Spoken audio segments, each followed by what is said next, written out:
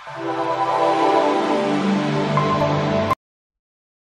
my name is Hamad Ali और हमारे course Android application development का जो टॉपिक था लिस्ट व्यू उसके अंदर हम सिंपल लिस्ट व्यू को आज कंप्लीट करेंगे। लास्ट लेक्चर में हमने बात की थी कि जो हमारा, जो कंटेंट है, उसको शो करने के लिए जो हमने यहाँ पे यूज़ किया था android dot R dot layout dot simple list item जो कि लाइब्रेरी में अवेलेबल था इसको हम खुद से भी डिज़ाइन कर सकते हैं, अपनी कस्टम इसकी लुक एंड फील डिज़ाइन कर सकते हैं। यानी कि एक ऐसा हम लेआउट डिफ़ाइन करेंगे जिसमें हमारी मर्ज़ी के colour text size background colour और जो टेक्स्ट का जो भी फॉन्ट वगैरह है, वो अपनी मर्ज़ी से हम यहाँ पे सेट कर सकते हैं। उसके लिए हमें क्या करना पड़ेगा? लेआउट के अंदर जाएँगे और एक नया लेआउट क्रिएट करेंगे। इस लेआउट को बाय डिफ़ॉल्ट आप रूट एलिमेंट कुछ भी दे सकते हैं, वैसे हमें यहाँ पे टेक्स्ट व्यू देना है। और उसके बाद उसका कुछ भी नाम रख सकते हैं। लेट से मैं इसका नाम रख देता हूँ लिस्ट आइटम जो एक आइटम होगी इस लिस्ट की, वो कुछ इस तरह से आपको विजिबल होगी। जैसे हम इसको क्रिएट करते हैं तो आप देखेंगे कि यहाँ पे हमारे पास एक ही रूट आइटम आएगी, जो कि टेक्स्ट व्यू के नाम से है। लेट से हाइट इसकी मैं इसको रैप कंटेंट कर देता हूँ। और विथ इसकी ऑलरेडी डिफाइन है। इसके बाद इसके अंदर जो फर्दर चीज़ें हैं, उनको डिफाइन कर लेते हैं। लेट से मैं कहता हूँ कि इसका जो टेक्स्ट साइज़ होगा, वो थर्टी डी होगा। लेट से मैं कहता हूँ कि इसका जो टेक्स्ट कलर होगा, वो लेट से हैश रेड होगा। लेट से इसको जो मार्जिन दिया जाएगा, ये अभी फ़िलहाल हम मार्जिन के बगैर देख लेते हैं, फिर हम देखते हैं कि हमें इसकी ज़रूरत है या नहीं है। तो अभी फ़िलहाल हम इसको इसी के साथ देखते हैं और सिंपल जाके यहाँ पे हमारी जो लेआउट की फ़ाइल है, इसका नाम चेंज कर देते हैं। पहले हमने android dot R dot layout लिखा था, अब हम लिखेंगे आर डॉट लेआउट डॉट और यहाँ पे हमने जो नई फ़ाइल बनाई है लिस्ट आइटम वो नज़र आ रही है। इसको हम सिलेक्ट कर लेंगे और इसके बाद हम इसकी आउटपुट को एमुलेटर में देख लेते हैं। तो ये हमारे पास इसकी आउटपुट आ रही है। टेक्स्ट अपनी मर्ज़ी का है कलर हमारी मर्ज़ी का है। आई बिलीव सो कि हमें थोड़ा सा इसके अंदर मार्जिन और पैडिंग ऐड करनी चाहिए। तो मैं यहाँ पे जाता हूँ और मैं सिंपल पैडिंग सेट कर देता हूँ let say ten D P और मार्जिन सेट कर देता हूँ let say twenty D P और लेट से बैकग्राउंड कलर भी सेट कर सकते हैं हम।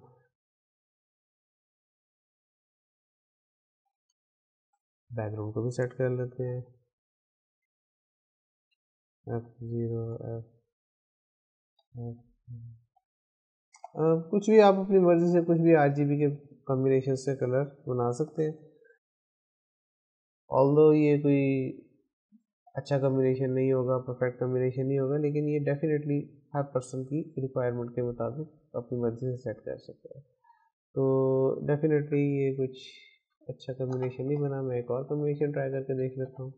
मैं इसको C zero C zero C zero के साथ ट्राई कर लेता हूँ। माइट भी ये इसके ऊपर बेहतर लगे इस पर भी ये आप इस तरह से बैकग्राउंड कलर चेंज कर सकते हैं और आप इसका टेक्स्ट कलर को चेंज करके देख सकते हैं। तो इस तरीके से आप अपनी कस्टम जो इसकी है लुक एंड फील इसको डिफाइन कर सकते हैं। अभी हम थोड़ा सा एक स्टेप और आगे जाते हैं और हम देखते हैं कि किसी लिस्ट आइटम के ऊपर क्लिक करने पे उसका जो हमें मतलब किस आइटम पे क्लिक किया ये हमें कैसे पता चलेगा तो उसके लिए हम लिस्टनर्स को यूज़ करते हैं। तो लिस्टनर यहाँ पे जो हमारे पास अवेलेबल है, लिस्ट व्यू के लिए ऑन क्लिक लिस्टनर तो हर व्यू के लिए होता है, लिस्ट व्यू भी एक व्यू है तो सेट ऑन क्लिक लिस्टनर तो इसके ऊपर लग जाएगा, लेकिन वो पूरे टेक्स्ट व्यू पर सॉरी, लिस्ट व्यू पे लगेगा। तो अगर हमें देखना हो कि लिस्ट व्यू की किस आइटम पे क्लिक हुआ है तो उसके लिए हमारे पास एक और ऑप्शन अवेलेबल है, जिसे हम कहते हैं set on item click list ठीक है तो आइटम के ऊपर हम हम इसको देखना चाहेंगे कि कौन सी आइटम क्लिक हुई है। उसके पास हमारे पास जो इंटरफेस है, जिसको इम्प्लीमेंट करना है, उसका नाम है on item click listener on item click listener के अंदर हमारे पास एक फ़ंक्शन है जिसको हमें ओवरराइड करना है, जो कि एब्स्ट्रैक्ट फ़ंक्शन है। एक तो इसमें है parent parent basically adapter view से मुराद ये है कि ये यहाँ पे लिस्ट व्यू है। ये जो फ़ंक्शन है set autumn on item click listener ये ज़रूरी नहीं है कि सिर्फ़ लिस्ट व्यू पे लगे। वो और भी एडेप्टिव व्यूज़ के ऊपर ये अप्लाई हो सकता है, जैसे ग्रिड व्यू है, या और जिसमें भी है। तो यहाँ पे जो पेरेंट है, ये पेरेंट एक्चुअली उस एडेप्टर व्यू को रेफर कर रहा होगा। यहाँ पे हमारे पास चूँकि लिस्ट व्यू है तो इस वक्त इसको लिस्ट व्यू हम कह सकते हैं। दूसरे नंबर पे हमारे पास पैरामीटर है, वो है व्यू व्यू बेसिकली वो लेआउट है कंप्लीट जिस लेआउट के ऊपर हमारा डाटा शो हो रहा है। जैसे अभी हमने यहाँ पे लेआउट बनाया लिस्ट आइटम के नाम से तो इस लिस्ट आइटम व्यू को मैं कह सकता हूँ कि इसका जब इसने इसको जावा के कोड में कन्वर्ट करके ऑब्जेक्ट क्रिएट किया तो ये व्यू उसको रेफर कर रहा है। उस ऑब्जेक्ट को। और ईच ऑब्जेक्ट को ये रेफर कर रहा है। तो वी कैन से दैट कि ये उनमें से कोई एक व्यू है। ज़रूरी नहीं है कि हमारे लेआउट के अंदर जो है वो जिस तरह भी हमने सिर्फ़ टेक्स्ट व्यू लगाया, सिर्फ़ टेक्स्ट व्यू एक से ज़्यादा उसके अंदर हो सकता है लीनियर लेआउट के अंदर मल्टीपल ऑब्जेक्ट्स लगे हो। तो ये उसी हिरारकी के साथ यहाँ पे व्यू को डिफाइन करेगा।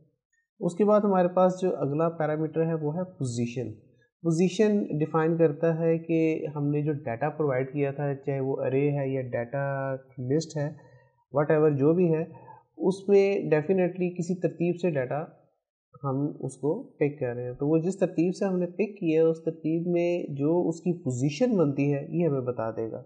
और जो पहली पोजीशन का डाटा होगा, वो ज़ीरो से स्टार्ट होगा। लॉन्ग आईडी बेसिकली उस व्यू की आईडी डिफाइन कर रहा है, जो ऑपरेटिंग सिस्टम अंडरस्टैंड करता है। जैसे हमने यहाँ पे लिखा हुआ था लिस्ट व्यू की R dot I D dot L V list तो ये इस आई डी की बेस के ऊपर सर्च करके ले आता है। लिस्ट व्यू का ऑब्जेक्ट आर एक डाटा स्ट्रक्चर उसके अंदर आई डी का एक स्ट्रक्चर उसके अंदर यहाँ पे एक इंटीजर वेरिएबल है जिसके अंदर उसकी आई डी डिफाइन है। तो ये बेसिकली वही वाली आई डी यहाँ पे भी हमें रिसीव हो रही होगी। लेकिन लिस्ट व्यू की नहीं, बल्कि उस व्यू की जिसपे हमने टैप किया लेट से अगर हम उस व्यू का कुछ शो करवाना चाहते हैं कंफर्म करना चाहते हैं कि हमने उसी लिस्ट व्यू को टैप किया है तो ऐसा करते हैं कि हमने उसके ऊपर जो कोई टेक्स्ट लिखा है, उसको टोस्ट करवा लेते हैं। डॉट मेक टेक्स्ट तो उसको जो रिक्वायरमेंट है, उसकी ये है कि सबसे पहले उसको कॉन्टेक्स्ट चाहिए। दूसरे नंबर पे उसको वो डेटा चाहिए जो हमने शो करवाना है। लेट से हमारे पास जो ऊपर अरे थी हम उस अरे का ही डाटा यहाँ पे शो करवा देते हैं। उस अरे के ऊपर जौन सी पोजीशन पे जौन सा डाटा था वो हमने शो करवा दिया। उसके बाद इसको लेंथ चाहिए टोस्ट को कि शॉर्ट ड्यूरेशन के लिए आए कि लॉन्ग ड्यूरेशन के लिए आए। लेट से मैं इसकी लेंथ लॉन्ग कर देता हूँ। ठीक है जी? और उसके बाद हमने एंड पे जब ये ऑब्जेक्ट रिटर्न होगा तो इसको शो कॉल कर देंगे। यहाँ पे अगर आप छोटा सा देखें एरर आ रहा है कि variable arrays access from inner class need to be declare final तो चूँकि हमें यहाँ पे पता नहीं है कि ये जो लिसनर का जो फ़ंक्शन होता है, ये इसी तरतीब में कॉल नहीं होता है जिस तरतीब में हम इसको लिख रहे हैं, बल्कि ये तब कॉल होता है जबकि इवेंट अकर होता है। तो जब इवेंट अकर होता है तो जो विद इन फ़ंक्शन जो भी वेरिएबल्स होते हैं उनकी स्टेट का पता नहीं होता। तो उस स्टेट को इंश्योर करने के लिए कि वो स्टेट मेंटेन रखेंगे, हम क्या करते हैं कि उनको फिर फाइनल कर देते हैं। क्योंकि अगर फाइनल नहीं करते, अगर उसकी स्टेट चेंज है तो फिर हो सकता है कि जो हम यहाँ पे इवेंट कॉल कर रहे हैं, उसके अगेंस्ट ये जो फ़ंक्शन कॉल हो, वो हमें कुछ अजीबोगरीब बिहेवियर शो करे। तो इसलिए हम यहाँ पे इसको फाइनल करना ज़रूरी हो जाता है। अदरवाइज़ अगर ये फ़ील्ड होती क्लास लेवल की तो फिर इसने यहाँ पे प्रॉब्लम नहीं करनी थी तो लेट से हम इसका टेक्स्ट शो करवा के देख लेते हैं, और जब मैं इस पर क्लिक करता हूँ तो आप देख सकते हैं कि यहाँ पे हमारे पास लोड हो गया है। जैसे ही मैं जिस मंथ के ऊपर क्लिक करूँगा, ये मुझे उस मंथ का नाम नीचे टोस्ट में दिखा रहा है। अभी जो कि ये सिंपल है तो इस चीज़ को देखने के लिए कि जी ये जो व्यू है, इसके अंदर जो वैल्यू पड़ी है, वो लेआउट की पड़ी है। तो मुझे पता है कि ये व्यू के जो रूट नोड है, वो टेक्स्ट व्यू है तो मैं इसको टेक्स्ट व्यू में कास्ट कर लेता हूँ। लेट से मैं कहता हूँ कि सॉरी पहले टेक्स्ट लिखा इसको टेक्स्ट व्यू में कास्ट कर लेते हैं। इज़ इक्वल टू जो व्यू हमारे पास ऊपर से आ रहा है। कास्ट करने के लिए हम इसको टेक्स्ट में लिख दिया और लेट से मैं इसकी जगह पे यहाँ पे लिख देता हूँ T V dot get text और उसके बाद जब मैं इसको कॉल करूँगा तो आप देख सकते हैं कि सेम आउटपुट आ रही है। लेकिन ये सेम आउटपुट सिर्फ़ इस केस में ही आ रही है। ज़रूरी नहीं है कि हर दफ़ा टेक्स्ट व्यू लगा हो। कोई हिरारकी भी हो सकती है, हमें ऑब्जेक्ट के अंदर जाके फर्दर किसी सब ऑब्जेक्ट को कॉल करना पड़ सकता है। तो अभी फ़िलहाल मुझे पता था कि ये रूट नोड टेक्स्ट व्यू है तो इस वजह से यहाँ पे इजीली एग्जीक्यूट हो रहा है। अच्छा इसके अलावा जैसे हमने लिसनर्स के अंदर देखा था कि ऑन क्लिक लिसनर होता है ऑन लॉन्ग क्लिक लिस्टर भी होता है तो इसके अंदर भी set on item long click listener भी अवेलेबल है। तो लेट से हम उसको भी एक दफ़ा ट्राई करके देख सकते हैं। Set on item long click listener ठीक है जी। तो इसके भी जो पैरामीटर्स होते हैं ऑन आइटम लॉन्ग क्लिक इसका फ़ंक्शन है और उसके जो पैरामीटर्स हैं वो समवट सेम ही हैं जो कि ऑन आइटम क्लिक के हैं। ठीक है तो इसको दोबारा हमें अंडरस्टैंड करने की ज़रूरत नहीं है, लेकिन बस ये है कि हमें इसको फीडबैक देना होता है कि हमारा ये लिसनर प्रॉपरली कॉल हो गया है। तो हम इसको रिटर्न ट्रू करेंगे या फॉल्स करेंगे। लेट से अब हम थोड़ा सा ये देख लेते हैं कि अगर हमने लिस्ट में से किसी आइटम को रिमूव करना हो तो उसको भी देख लेते हैं। तो ये दोनों चीज़ें एक साथ हम चेक कर लेंगे लॉन्ग क्लिक लिस्टर का भी। और अगर किसी एरे के अंदर सॉरी लिस्ट में आइटम लिस्ट व्यू में से कोई आइटम को रिमूव करना हो तो वो कैसे करेंगे? उसका सिंपल सा तरीका ये है कि हम उस एरे में से या लिस्ट में से उस ऑब्जेक्ट को रिमूव कर देंगे। अरे में से चूँकि ऑब्जेक्ट को रिमूव करना थोड़ा सा मुश्किल हो जाता है क्योंकि अरे को री डिज़ाइन करना पड़ता है तो हम यहाँ पे अरे की जगह पे लिस्ट ले लेते हैं ताकि उसमें से हमें ऑब्जेक्ट को रिमूव करना भी आसान रहे। और थोड़ा सा हम ये भी देख लेते हैं कि अगर ऑब्जेक्ट सॉरी लिस्ट हो तो भी इसको कोई फ़र्क नहीं पड़ता। ये उसी तरह ही बिहेव करेगा जिस तरीके से अरे के लिए इसने बिहेव किया था। तो लिस्ट को हम टाइप कास्ट कर लेते हैं स्ट्रिंग के साथ और ए आर आर का ही ऑब्जेक्ट बना लेते हैं ठीक है जी। लिस्ट को यहाँ पे हम इंपोर्ट कर लेते हैं। कंट्रोल एंटर का प्रेस करेंगे तो ये ऑटोमेटिकली यहाँ पे इसको इंपोर्ट भी कर लेगा। इसको हम इनिशियलाइज भी करवा देते हैं लिस्ट को। ठीक है जी। आ, अब A R R dot add का फ़ंक्शन कॉल करेंगे तो उसके अंदर वो पॉपुलेट कर लिया है। और अभी हम इसको पहले चला के देख लेते हैं कि क्या कोई आउटपुट में कोई डिफरेंस तो नहीं आया। अभी हम देख सकते हैं कि आउटपुट सेम वैसी ही है जैसे हमें अरे के अंदर मिल रही थी। बस फ़र्क ये है कि पहले हमने टू टाइम्स मंथ ऐड किए थे, अब हमने वन टाइम ऐड किया। लेट से अगर मैं यहाँ से किसी आइटम को रिमूव करना चाहूँगा तो मैं सिंपल क्या करूँगा कि जो हमारे पास डाटा की लिस्ट अवेलेबल है उसमें से उस आइटम को रिमूव कर दूँगा। रिमूव रिमूव के अंदर मुझे पोजीशन चूँकि ऊपर से आ रही है, मैं उसी पोजीशन को यूज़ करते हुए आइटम को रिमूव कर दूँगा।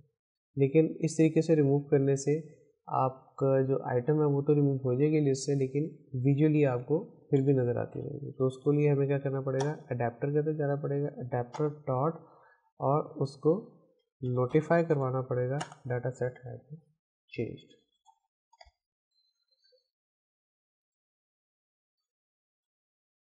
यहाँ पे अगर आप देखें तो हमारे पास इसी तरह मंथ आ रहे हैं। लेट से मैं किसी एक मंथ के ऊपर लेट से अप्रैल के ऊपर लॉन्ग प्रेस करता हूँ तो आप देख सकते हैं कि अप्रैल यहाँ से रिमूव हो गया।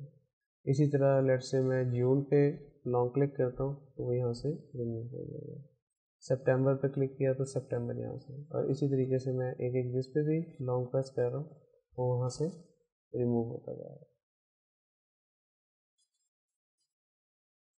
तो दैट्स हाउ हम लॉन्ग क्लिक लिस्टर को इम्प्लीमेंट इस तरीके से करते हैं और इसी के साथ हमने ये भी सीख लिया कि अगर हमने लिस्ट में से किसी आइटम को रिमूव करना हो तो कैसे करना है। तीसरी चीज़ हमने ये भी देखी कि अरे के साथ भी डाटा शो करवाया जा सकता है और लिस्ट के साथ भी करवाया जा सकता है। अरे के साथ नॉर्मली वो वाला डाटा शो करवाना, करवाते हैं जिसको हमें चेंज नहीं करना होता। और अगर हमने उस डाटा को चेंज करना है या उसके इंक्रीज़ करना है या डिक्रीज़ करना है तो फिर हम उसके लिए लिस्ट को यूज़ करते हैं। यहाँ पे एक छोटी सी एक और एग्जांपल कर लेते हैं साथ ही हम कि अगर इसके अंदर हमने नया डाटा ऐड करना हो तो कैसे करेंगे? तो हम ऐसा करते हैं कि मेन एक्टिविटी में जाते हैं, यहाँ पे एक छोटा सा जल्दी से एक लेआउट क्लियर कर लेते हैं। लीनियर लेआउट क्रिएट कर लेते हैं जी रैप कंटेंट और रैप कंटेंट ही रखते हैं इसको। और के अंदर हम एक एडिट टेक्स्ट बना लेते हैं इसको रैप कंटेंट और लेट्स मैच पेरेंट कह दिया।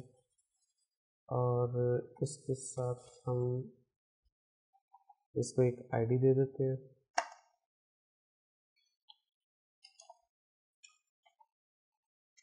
ई डी टेक्स्ट के नाम से मैंने इसको आईडी दे दी। और लेट्स से हिंट इसको डिफाइन कर देते हैं कि और इसके बाद उसको पे क्लोज किया और उसके बाद यहाँ पे मैंने एक बटन क्रिएट कर लिया और उस बटन को रैप कंटेंट रैप कंटेंट इसको यहाँ से क्लिक किया और यहाँ पे मैंने इसको एक आईडी दे दी। डिटेल ऐड और यहाँ पे इसका टेक्स्ट भी डिफाइन कर दिया, जो कि ऐड हुआ। लीनियर लेआउट की ओरिएंटेशन डिफाइन नहीं की थी हॉरिजॉन्टल है। और यहाँ पे जो बटन है सॉरी बटन की बजाय टेक्स्ट का जो वेट है वो मैंने वन सेट कर दिया। अभी अगर हम इसका आउटपुट देखें तो हमें कुछ इस तरीके से नज़र आ रहा है।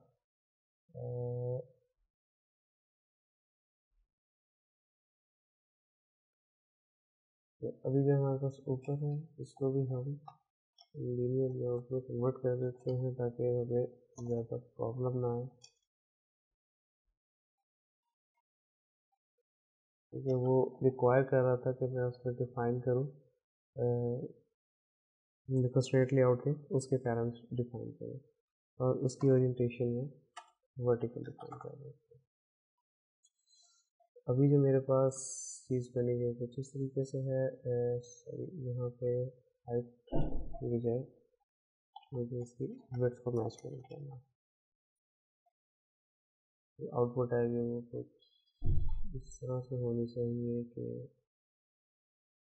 लेआउट टेक्स्ट पे मैंने इसका वेट भी कम सेट कर दिया है, लेकिन उसके बावजूद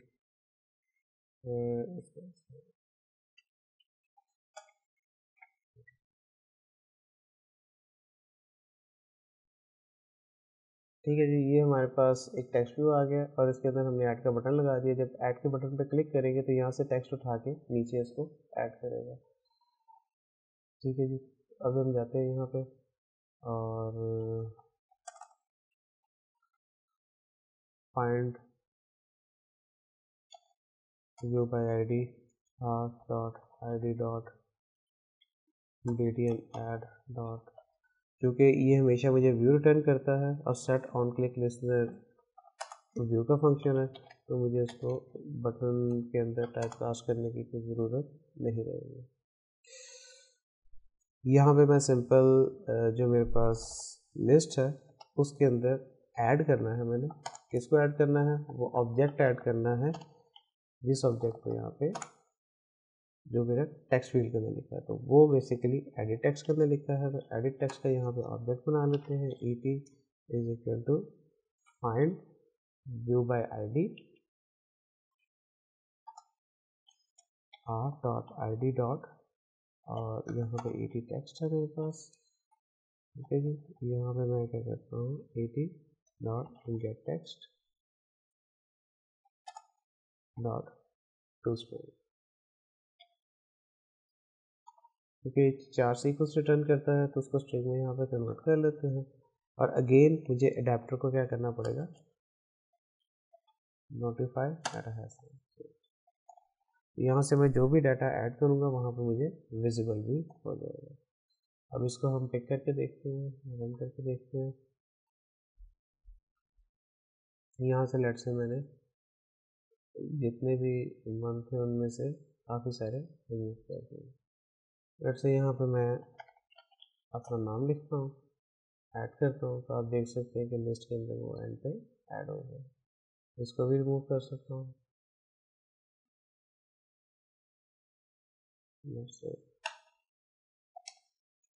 इसकी जगह पे कुछ भी लिखना हो मैं